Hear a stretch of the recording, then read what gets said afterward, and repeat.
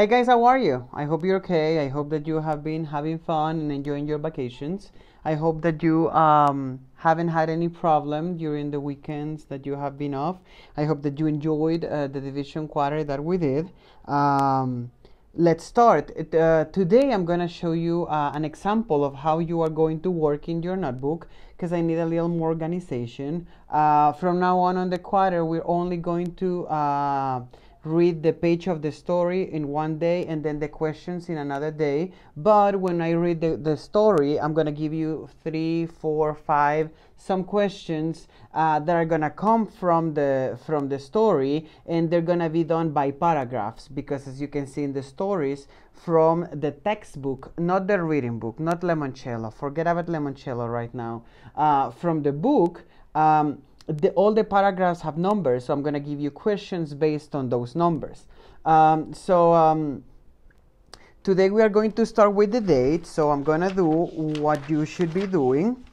I did it earlier with uh, with fourth grade, so as you can see, date in cursive, everything in cursive, very clear, and then the number of page of the story that we are reading, uh, and then uh, the the name of the story. Uh, and then the questions, remember questions in cursive, answers in pencil, and, uh, and print. And remember, we're writing from what paragraph every story is coming because depending on the paragraph, you're going to find the answer. Just to clarify something, eh, algunos de ustedes tuvieron problemas el parcial pasado porque insistían en enviarme páginas de historias que yo no había pedido o que yo no había leído.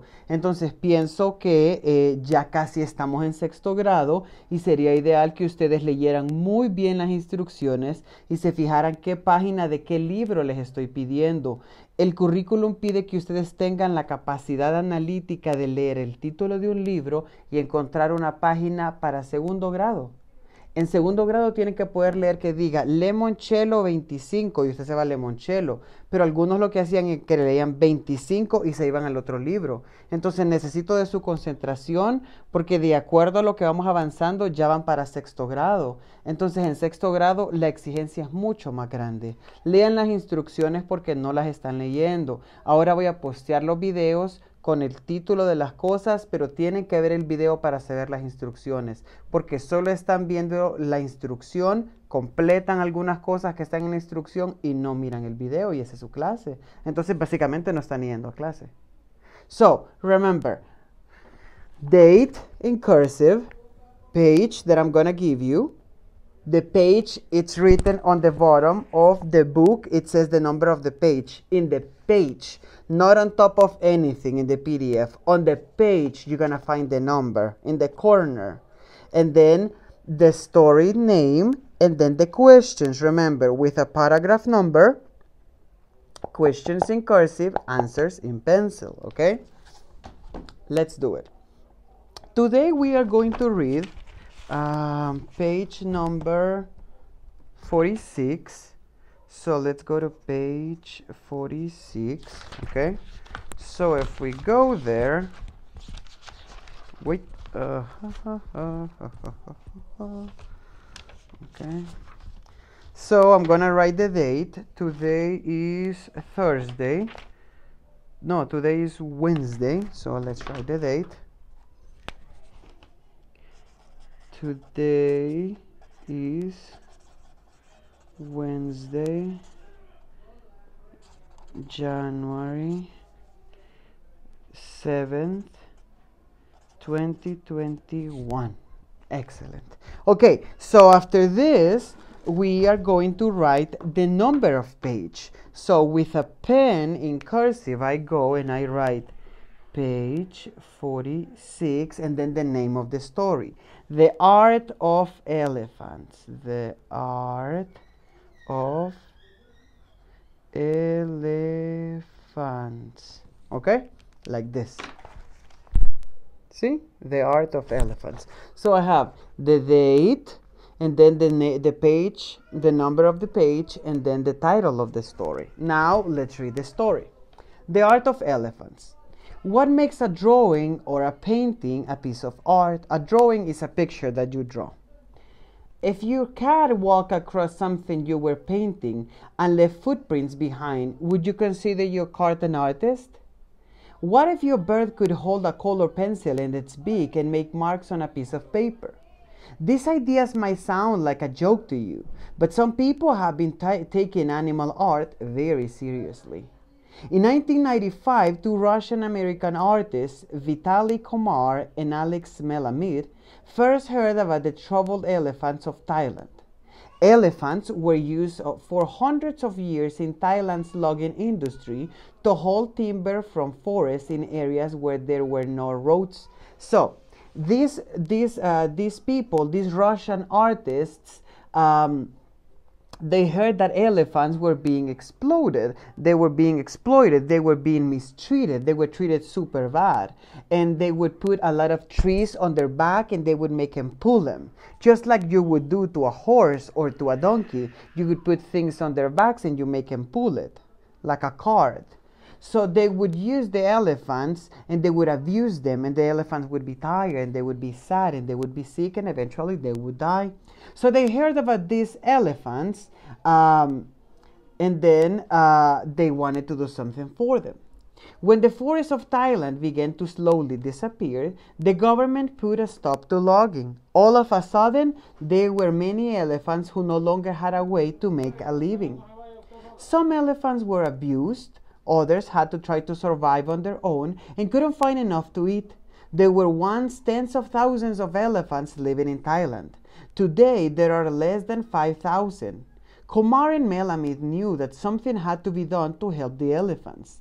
Then they came up with an idea that would forever change the way people regarded Thai elephants. Thai is from Thailand. And you can see a picture of the elephant with the pictures. Komar and Melamid visited elephant camps in Thailand. They, there, they began to show the mahouts, or elephant trainers, that's the name of an elephant trainer, a mahout, how to teach the elephants to paint. At first, the mahouts have to guide the elephant's trunk with their trunks. The elephants became more comfortable doing this with practice and lots of sweet snacks and finally started to paint on their own. So they were giving them little snacks, peanuts or peanut butter or different kind of leaves as a prize if they painted something. The strange idea that Komar and Melamid had to save the elephants actually began to work. They helped found several elephant art schools in Thailand and in other Asian countries. The elephants and their mahouts go, to the, go there to learn about painting and to get the supplies they need. Painting, uh, sorry. Today, people buy elephant artwork from galleries all around the world. Some are even willing to pay more than $2,000 for the work of the elephant artists. Some people have compared the cheerful, brightful coral artwork to the work of abstract painters like Jackson Pollock and Valik, Vasily Kandinsky. Other people are just happy to buy art that is so unique and original and that supports such a good cause. The next time you see a piece of colorful abstract art, find out who the artist is you may just be surprised at what you learn. So, an abstract painting is something like what we did yesterday. It's something that doesn't necessarily have any meaning or it doesn't necessarily follow a, a reason, but you just do it because it's um, outstanding for you. It's something that it's uh, beautiful and it's something that you find their own meaning to it. So, after reading the story, we can learn that the people in Thailand used to use elephants as horses or as donkeys to haul, to, to, to take logs, pieces of trees on their backs or in carriages. And, um, and when they no longer could do it, then they were dis- uh, discharged. They didn't need them anymore. So the elephants couldn't find anything to do with their lives. But now that elephants have found ways to deal with their lives. Um, because of art, their lives are changing. Obviously, we're talking as a subject in here that is uh, hypothetical because elephants don't think as humans, but I'm pretty sure they have feelings like any other being. So, after discussing the story, we are going to write a couple questions. So, I'm going to give you a number of paragraph, a question in cursive with a pen, and then you're gonna answer that question with a pencil in print. Ready? Let's do it. So we are going to write in here questions and then number one. Okay? So remember, from paragraphs, okay? I'm gonna give you the questions by paragraphs, okay? Mm -hmm, mm -hmm, mm -hmm. Number from number one. From paragraph number two. And then in another line, you're going to write the question from paragraph number two. According to the paragraph What did elephants do in the past? Now remember something. You have to answer the questions in complete sentences. Why? I'm going to say it in Spanish so maybe your parents can hear it too.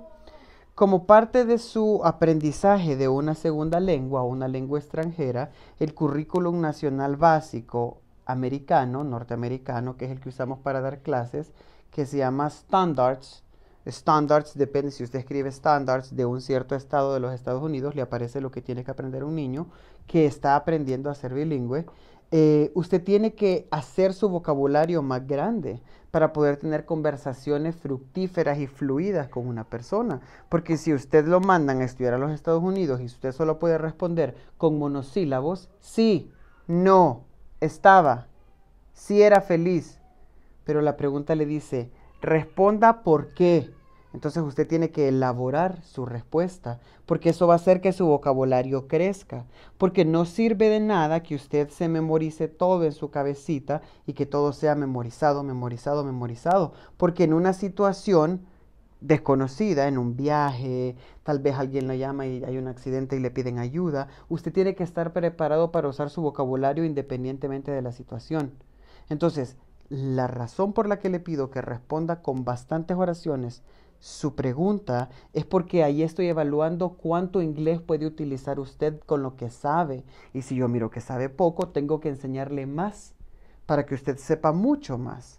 Entonces le pido que la respuesta que le estoy pidiendo en las preguntas la elabore. Usted use parte de la pregunta. Esa es la primera parte. Parte de la pregunta va a ser su respuesta. Así usted escribe de una manera profesional y elaborada. Entonces, eventualmente, cuando se salga de la escuela, usted va a tener un inglés fluido y abundante y no monosilábico y corto. ¿Sí? Vaya pues, bien. So, from paragraph number two, according to the paragraph, what did elephants do in the past? So, if we read paragraph two, it says, in 1995, two Russian-American artists, Vitaly Komar and Alex Melamid, first heard about the troubled elephants in Thailand. So first we can see that they're troubled. They're in trouble, okay. Elephants were used for hundreds of years in Thailand's logging industry. Logging is when they cut the trees and they put them in the animals' backs. In forests in areas where there were no roads, when the forests in Thailand began to slowly disappear, the government put a stop to logging. All of a sudden, there were many elephants who no longer had a way to make a living. So, these animals, the, the, the pe people used to cut the trees, they would fall, and then the elephant would put a rope in there, and then the elephant would have to haul the trees. He would have to pull them because elephants are strong. But they're not animals of charge. Sometimes donkeys are used like that. But again, they're, they're weak until, at, at, until some point. So according to the paragraph, what did elephant do in the past? You can do. In the past, elephants were, were in trouble because people would cut trees and make them hold them. Or in the past, elephants were in trouble because they were used to haul logs. So in there, you are using part of a long vocabulary. Remember, this is the best for yourself. Not for me, because I already do some English, for yourself so you can have an excellent and fluent language. I'm not going to give you the answer. So you have to write the answer. But I'm giving you the idea of the answer. Number two. Remember, the answer is in pencil with a print from paragraph number 4.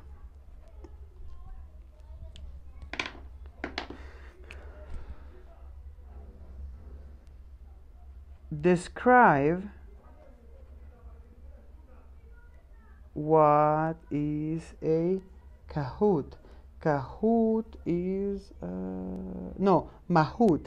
M A H O U T S. Describe what is a Mahout, like this. So I have question, this is space for the answer that you're gonna do, and then from paragraph number four, describe what is a Mahout, okay? So we have Mahout. And then, what is a Mahout? Let's go to paragraph number four. It says, Komar and Melamid visited elephant camps in Thailand. There, they began to show the mahouts, or elephant trainers, how to teach the elephants to paint. So let's read again. It says in there, then there, there they began to show the mahouts, or elephant trainers. Now, if you're just writing here elephant trainers, you're giving me an idea, but you're not giving me an answer. I need an answer. So, what would be the correct answer? Because the question says, describe what is a mahout. Then you write, a mahout is a person that trains elephants.